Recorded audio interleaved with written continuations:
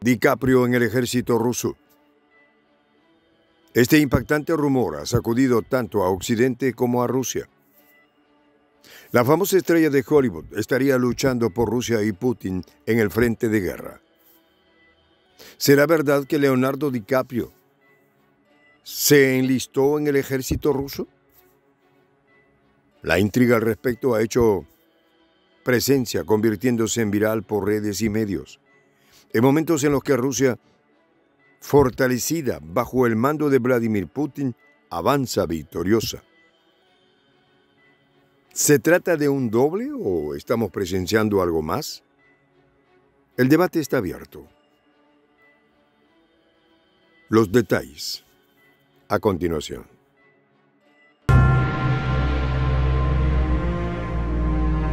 ¿Quieres saber cómo se puede fundar la patria grande? Mira el final del video. DiCaprio al servicio de Putin. La noticia corrió como pólvora por los medios internacionales, y es que este impactante rumor ha sacudido tanto a Occidente como a Rusia. La famosa estrella de Hollywood estaría luchando por Rusia y Putin en el frente de guerra. Pero resulta que se trata de nada más y nada menos que de Roman Bartsev, el famoso doble ruso de Leonardo DiCaprio, quien se ha alistado en el ejército ruso y ya está en el frente, participando activamente en la guerra contra Ucrania. Sin embargo, lo que ha generado mayor revuelo es la creciente especulación en torno a la posibilidad de que este hombre no sea solo un doble, sino que de alguna forma el propio DiCaprio pudiera estar relacionado con este alistamiento en las tropas de Putin. Lo que hace que la historia de Bartsev sea tan intrigante no es solo su vinculación con la fama de Hollywood, sino su posterior alistamiento en el ejército ruso. En un contexto donde Rusia avanza firmemente en su guerra contra Ucrania, la participación de un DiCaprio en el conflicto ha encendido debates y teorías de conspiración en todo el mundo. En el corazón de esta historia se percibe una profunda empatía hacia Bartsev por parte del pueblo ruso, que lo ve como un símbolo. Roman Bartsev es un hombre de 41 años que saltó a la fama de manera inesperada en el 2016, cuando las redes sociales lo catapultaron como el DiCaprio ruso, debido a su impresionante parecido con el actor de Hollywood. Bartsev un programador moscovita que hasta ese momento llevaba una vida tranquila y relativamente desconocida, pero repentinamente se vio inmerso en el mundo del modelaje y la publicidad, aprovechando su nuevo estatus de celebridad, pero este ascenso no duraría mucho. A medida que su vida cambiaba, también lo hacía su apariencia. Y con el tiempo, Bartsev empezó a ganar peso este simple cambio físico fue suficiente para que el mundo del espectáculo, siempre implacable y cruel, le diera la espalda. Barsev se encontró sin trabajo y enfrentando una crisis financiera. Mientras tanto, los críticos de Occidente no han tardado en apuntar que la situación de Barsev es solo un reflejo de las presiones que sufren los ciudadanos rusos debido a la guerra. Sin embargo, muchos dentro de Rusia ven en él un ejemplo de resiliencia, un hombre que a pesar de sus circunstancias ha decidido ponerse al servicio de su país y de su presidente Vladimir Putin. Por su parte, las declaraciones de Putin al respecto del conflicto son claras y reflejan su visión de la guerra y del papel que juega cada ciudadano en ese contexto, diciendo lo siguiente. Rusia se defiende, defiende su soberanía y su futuro. Aquellos que se alistan para luchar por nuestra patria están protegiendo algo más grande que ellos mismos. Están protegiendo la esencia de lo que significa ser ruso. Con este tipo de discurso, Putin ha logrado enamorar, convencer y captar el apoyo de millones de ciudadanos rusos que, así como Bartsev, ven en el líder ruso aquel defensor de la patria, así como una fuerza estabilizadora en medio del caos global. Toda la incógnita y la duda despertada por la historia de Bartsev no es infundada y se explica también reviviendo una serie de declaraciones de personalidades y actores de Hollywood sobre Rusia y Putin, quienes no han dudado en expresar su simpatía. Es así como en el pasado el propio Leonardo DiCaprio había expresado públicamente su admiración por Rusia y por el presidente Putin.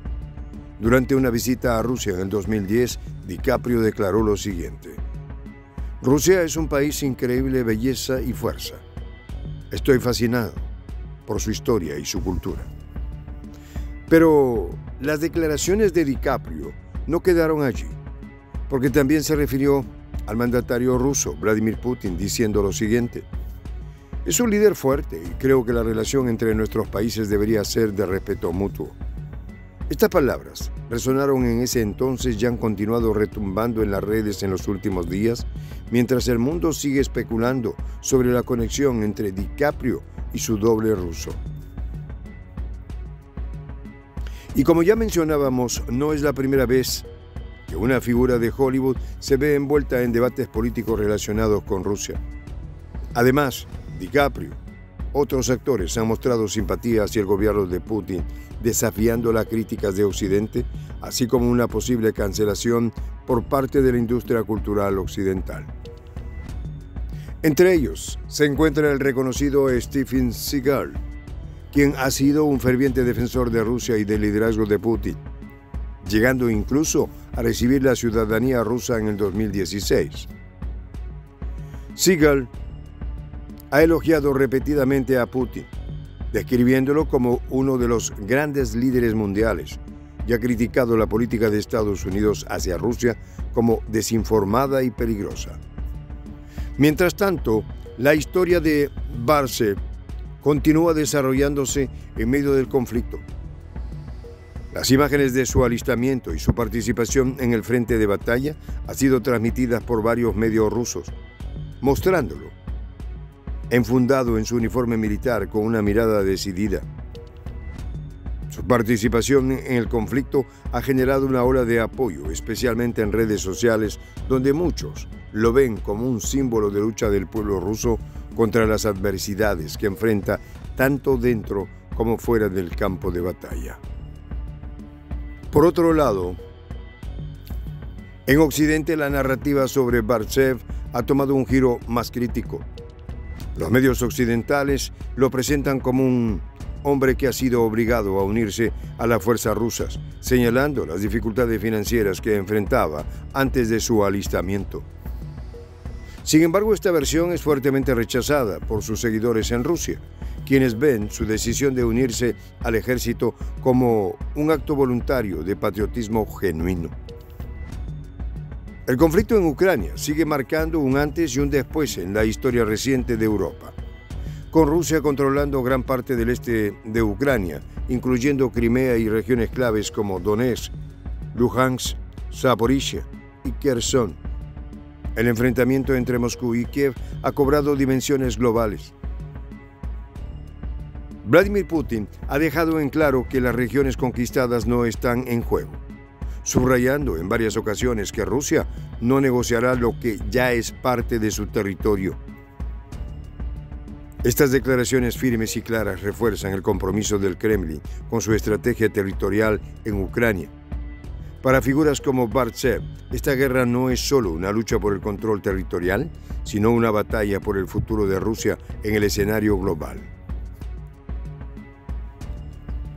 A medida que Occidente, encabezado por Estados Unidos y sus aliados en la OTAN, continúa imponiendo sanciones y apoyando militarmente a Ucrania, Rusia sigue resistiendo, fortaleciendo sus alianzas estratégicas con países como China, India y otras naciones que han desafiado las narrativas occidentales. El debate sobre el futuro de Bartsev y su papel en la guerra seguirán vivos en los próximos meses. Será recordado como el doble de DiCaprio, que decidió luchar por su país. A medida que se avanza en el frente de batalla, la influencia de Occidente sobre Ucrania sigue debilitándose y Putin refuerza su liderazgo con un discurso de fortaleza y resistencia. La decisión de Bartsev de alistarse en el ejército es para muchos rusos un ejemplo del sacrificio que exige esta guerra. En palabras del propio Putin, Cada ciudadano tiene un papel en la defensa de nuestra patria. Y es precisamente en tiempos de adversidad cuando se demuestra el verdadero carácter de un hombre. La guerra entre Rusia y Ucrania está lejos de terminar y las historias como la de Barcev solo son una muestra del impacto que este conflicto está teniendo en la vida de millones. Pero en medio de todo este caos, una cosa es clara. El espíritu del pueblo ruso, personificado en figuras como Barcev, sigue siendo inquebrantable. Lo cierto es que la historia de DiCaprio, ruso, sigue viralizándose. A medida que sigue generando incógnitas en el público de si se trata de realmente Leonardo DiCaprio o no, más allá de esto, muchos no dudan en afirmar de que se trata de una historia que va de la fama al campo de batalla. En esta comunidad nos juntamos para, por ejemplo, conversar, interactuar, tener puntos de idea distintos, pero por ejemplo también tenemos un club de lectura donde leemos fragmentos de libros que consideramos que son importantes para crecer intelectualmente. También, por ejemplo, hacemos algo como lo que hace nuestro amigo el jefazo ahí en Bolivia. Les cuento la experiencia que me parece fascinante. Él tiene un restaurante ahí en Bolivia. Y en ese restaurante, ahí viene lo que tiene, un televisor. Y ustedes dirán, pero qué impresionante, ¿en qué contribuye que un restaurante tenga un televisor ahí en Bolivia? Una cosa muy importante, porque él, cada vez que abre su negocio, prende su televisor y pone los videos de prensa alternativa. Con eso, todos los días, poco a poco, con pasos muy concretos, él hace que toda la gente que vaya a su restaurante vaya insumiendo el concepto de la patria grande. Y así, pasito a pasito, estamos construyendo la patria grande.